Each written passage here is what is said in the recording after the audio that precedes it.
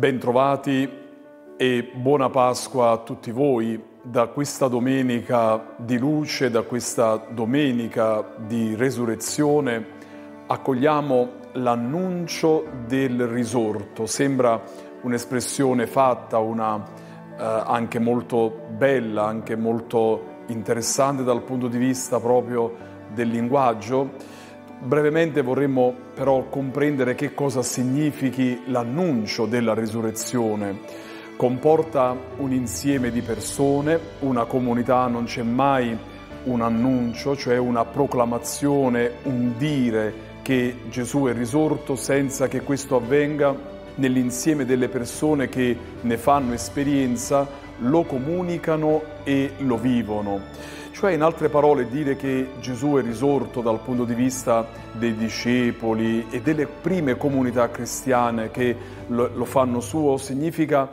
fare un'esperienza profonda della vita che irrompe sulla morte e eh, la formulazione eh, di questo eh, ne siamo molto lontani dal tempo in cui l'evento della resurrezione di Gesù è avvenuto dal punto di vista storico, ma non lontani dall'esperienza che ne possiamo fare. Ancora, dire che Gesù è risorto porti, porta con sé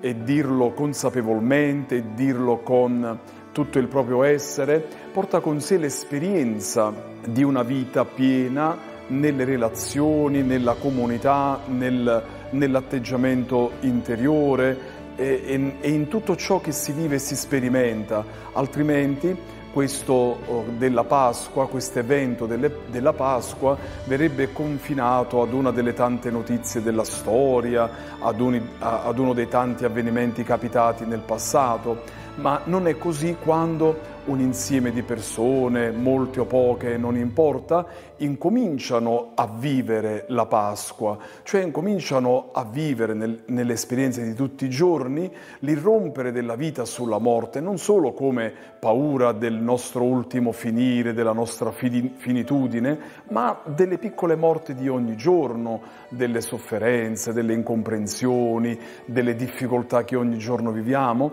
quando in noi e nell'insieme di noi, nel gruppo di persone, incomincia a, ad inoltrarsi, ad inserirsi l'elemento della fiducia, dell'incoraggiamento, dell'amicizia, della condivisione, allora si incomincia a sperimentare che all'origine della nostra vita non c'è soltanto questa energia positiva che noi possiamo fare nostra, ma c'è il vivente, cioè dietro e oltre ogni morte c'è colui che ha vinto la morte. E quando noi iniziamo a fare questo ci incontriamo con Gesù vivo, allora che